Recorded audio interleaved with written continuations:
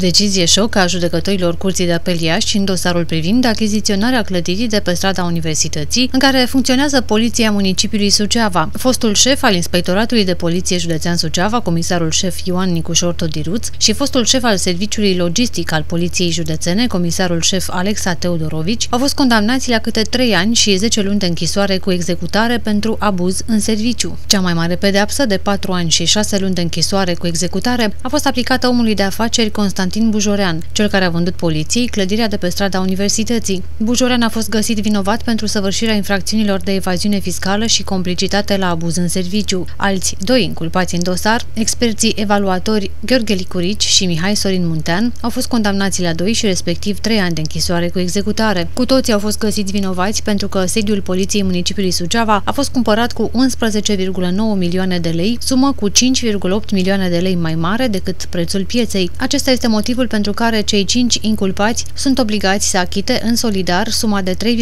3,7 milioane de lei, iar firma lui Constantin Bujorean trebuie să achite separat suma de 2 milioane de lei, bani reprezentând prejudiciul provocat bugetului de stat. Decizia judecătorilor Curții de Apel Iași poate fi atacată la înalta Curte de Casație și Justiție. Pe de altă parte, comisarul șef Ioan Nicușor Todiruț își așteaptă sentința într-un dosar similar, aflat pe rolul Tribunalului Suceava, care vizează achiziționarea unei clădiri din municipiul municipiul Câmpul Moldovenesc.